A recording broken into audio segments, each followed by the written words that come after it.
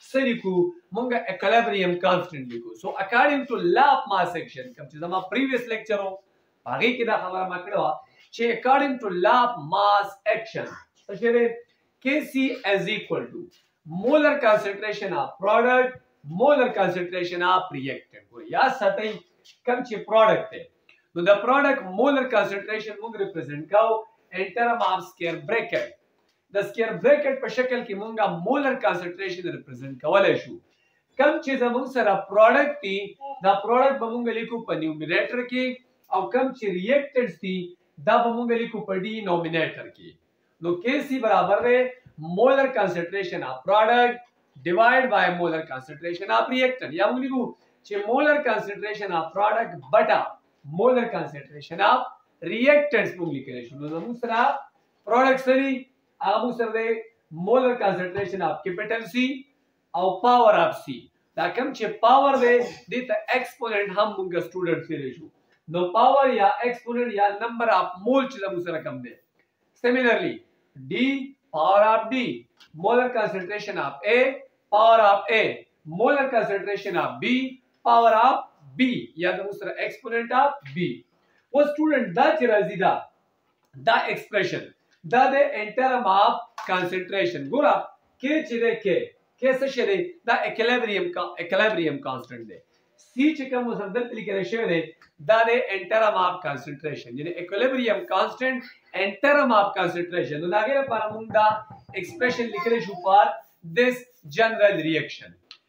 که فرض که زموږ نه په ايکزام کې دا وغواړي چې د دې جنرل رياکشن لپاره تاسو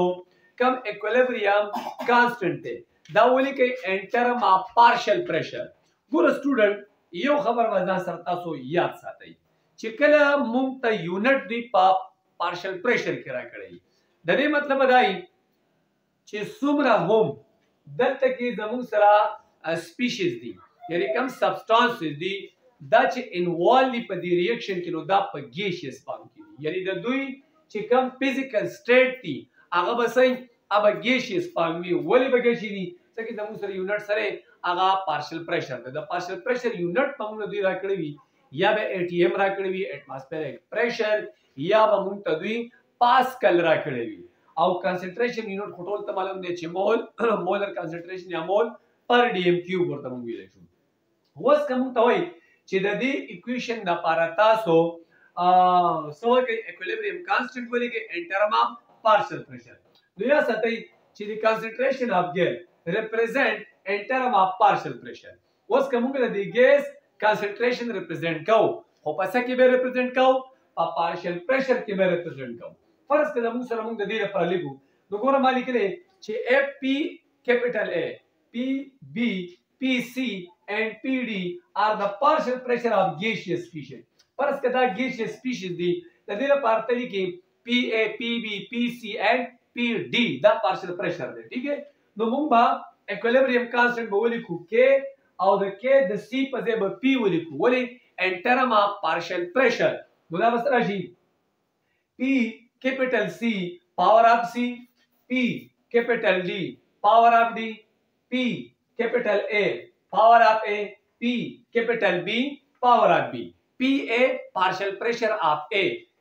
پی بی پارشل پریشر اف بی او دا کوم چې دا سمال ای او سمال بی دی دا کوم چې پاور دی نو دا ایکسپوننټ دی مونږ سره و سټوډنټ دې کې یو بل پوینټ هم ډیر اهم دی هغه بیا ساتي چې ګوره دا کله چې مونږه ایکولیبریم کانسټنټ لیکو ان ټرم اف مولر کانسنټریشن دا غیر پر مونږه سکیر بریکټ لیکو لیکن که مونږه ان ټرم اف پارشل پریشر لیکو نو ګوره بیا به تاسو سکیر بریکټ نه لیکئ ځکه چې سکیر بریکټ هم ته مولر کانسنټریشن ریپرزینټ کوي دا هم سره دا موږ سره پارشل پریشر خبره کوي بل یو ایم سی کیو خبره یاد راځي هنري موږ سره یو لا ده او د هنري لا مطابق ادا خبره کوي ک فرس کا ټمپریچر دا کانستنټ دی نو زموږ سره مولر کانسنټریشن چې د کم ګیسز دی هغه به ډایرکټلی پروپورشنل وي د پارشل پریشر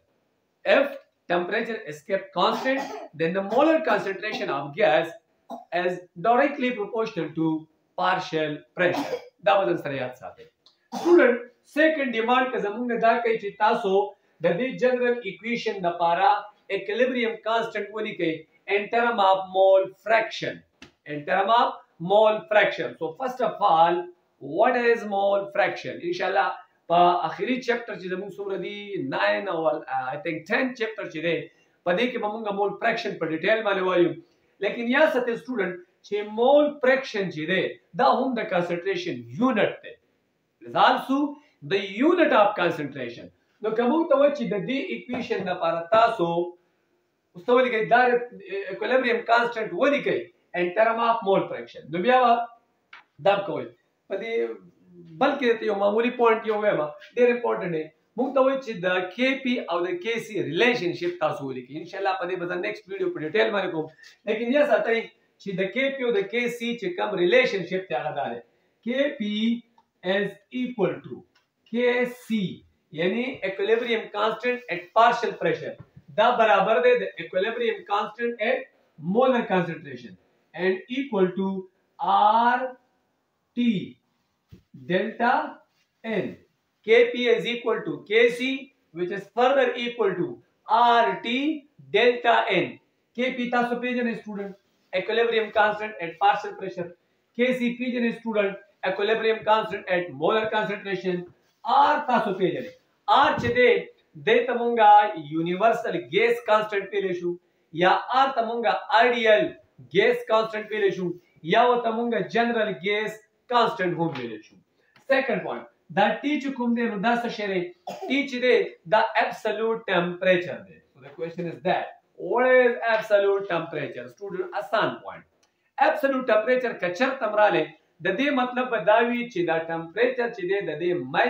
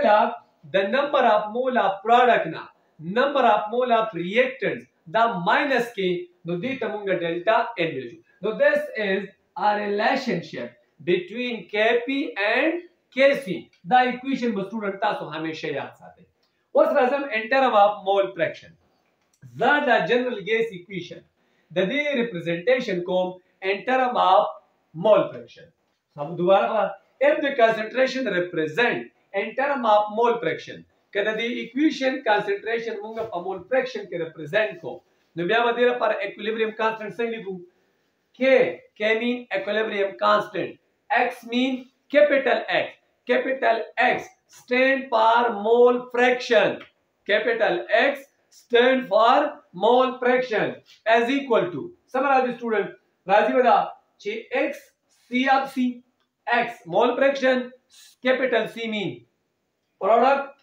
او سمال سیمي ایکسپوننټ سیملرلی ایکس ډي اف ډي ایکس ای اف ای ایکس بي اف بي نو دا زموږ سره رالی مول فریکشن اوس که راته څوک وایي چې د کې پي د کې پي او د کې ایکس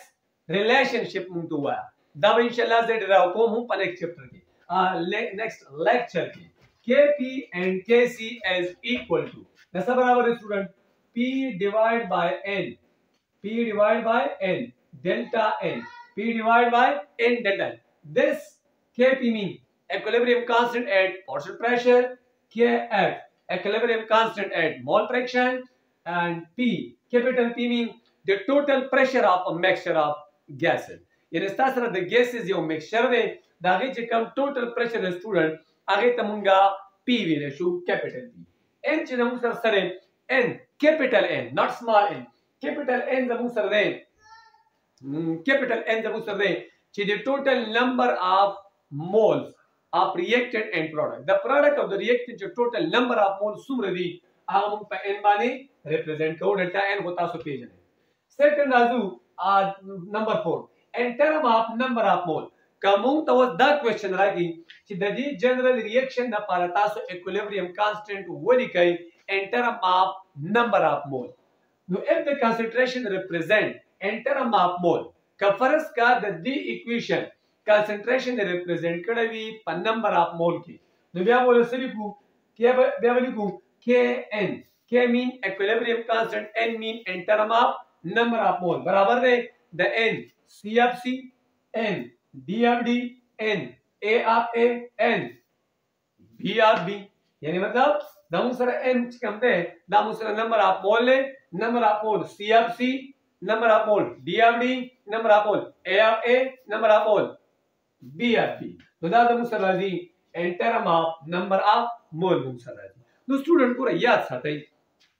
چې هر کله موږ سره په ایگزام کې یو جنرال ایکویشن راکړي او زموږ نه دا ډیمانډ کوي زموږ نه دا تپوس کوي زموږ نه دا غواړي چې دا جنرال ایکویشن دی د دې دا ایکسپریس کوي ان ټرم اف کنسنټریشن in term of partial pressure, in term of mole fraction and in term of number of mole. امید لرم ټول به پوه شوي ان شاء الله را روان کلاس کې چې کوم انتهایی اهم ټاپک بل له اوب زمونږ وی ریلیشن شپ بټوین کې پی کې سی کې پی کې ایکس کې پی کې ان نو ان شاء الله هغه وخت پورې دوباره چې کله حاضرېږم ان شاء الله نیکسټ ټایم به بیا راځم هغه وخت پورې اجازه تعلم د الله فمان